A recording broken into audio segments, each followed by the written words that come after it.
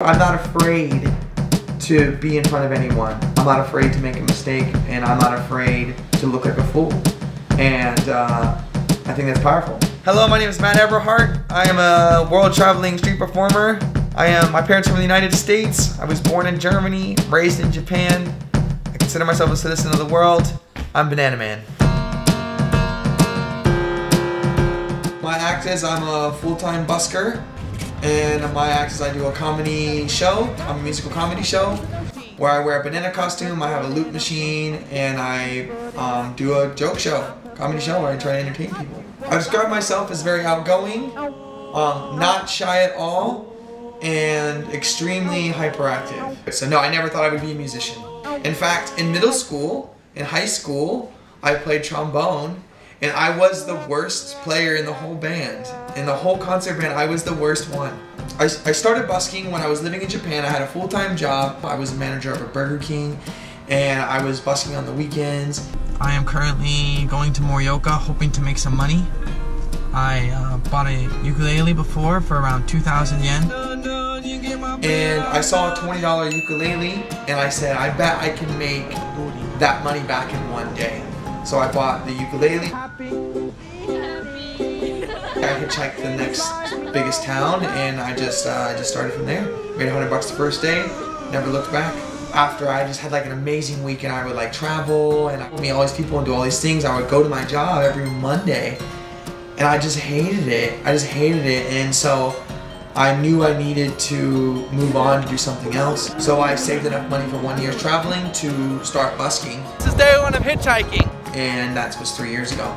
At first, my mom, my mom's a teacher. She always said, you know, go to college, get a university degree. You know, I did that. I did go to university. I did finish my degree, but you know, at first she was kind of hesitant. You know, she didn't really understand that, uh, you know, it's a way to to live. It's a lifestyle.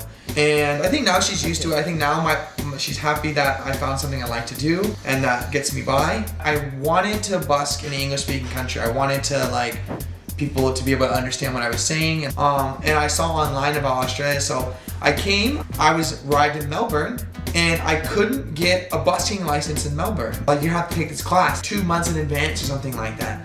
So I just got on the map and I just came to the closest city. And so I drove to Adelaide.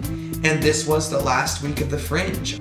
And then I've been back ever since. Australia is the, probably the best place in the world for busking. People really appreciate it. Even people who don't like me remember. You know, people who will say, man, that banana wasn't very good. But they've remembered. And that is the reason why I wear the banana. Because whether or not you like me or not, you don't forget. Well, the biggest challenges for busking is getting kicked out. That's probably the biggest challenge is, is um, I never ask permission. Rule number one about busking, never ask permission. Always just set up. And if you don't get kicked out, then go there again. She's got a red shirt and she's got her hair up in a scrunch. If you put your music out in front of people, you have to take rejection. Um, and you get the goods with the bads. You know, you get people who will say, you suck, you know, and you're like, ah, and then like you turn around and one minute later someone gave you 50 bucks.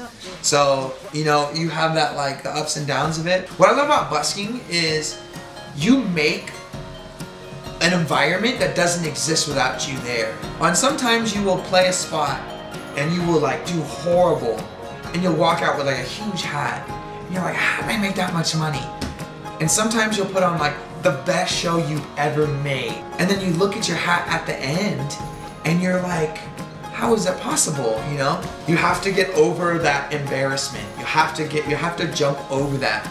And so I think that's the first step. People are like, there are people who are really very talented, but they're not willing to put themselves out there and face that possible rejection. And so once you get over that rejection, then it's very easy. Because once you stop caring, then you get the freedom to do whatever you want. The freedom to know that it's okay if it's not good. What gives me the validation is people who actually sit around and watch the show and enjoy the show for longer than just a second.